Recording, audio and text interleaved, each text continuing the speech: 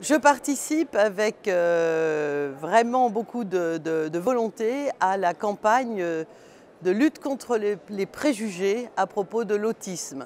L'autisme en Europe, sur 500 millions de citoyens, c'est 5 millions de personnes concernées, avec les différentes formes de l'autisme. Et je participe activement avec beaucoup d'autres euh, députés à signaler qu'il est très important euh, de, changer le regard sur ce handicap,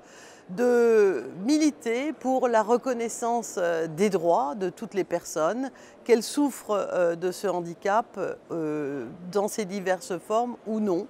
de faire respecter leurs droits, d'imaginer avec les gouvernants des États membres des cursus et des parcours éducatifs qui soient adaptés à la nature du handicap de ces 5 millions de personnes, c'est une nécessité. Et c'est la raison pour laquelle cette année, au plan européen, euh, la campagne est axée sur le fait euh, de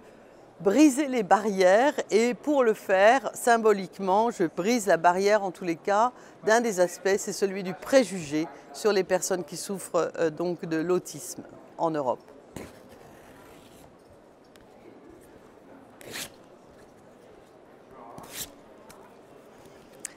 Participez avec nous à cette euh, campagne euh, qui vise à reconnaître l'égalité des droits de tous les citoyens, quelle que soit leur situation en Europe.